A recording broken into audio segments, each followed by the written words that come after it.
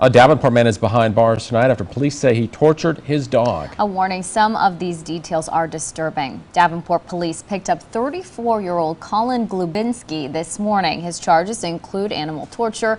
Officers say witnesses heard a man yelling, followed by a dog yelping. Look for Tahera Rahman spoke with one neighbor and joins us in our newsroom with what he saw before calling police. Tahera?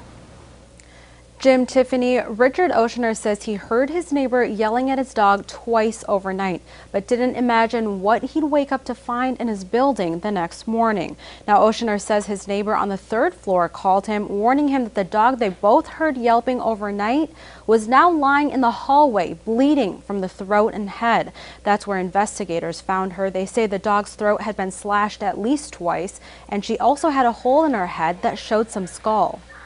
You can see out here there's there's all kinds of blood and there's like a chunk out of out of the head. It's just that's just terrible.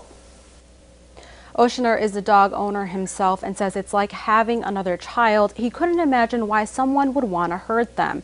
Now, Davenport police say that the dog is being treated for her injuries. In the newsroom, Tahera Rahman, Local 4 News.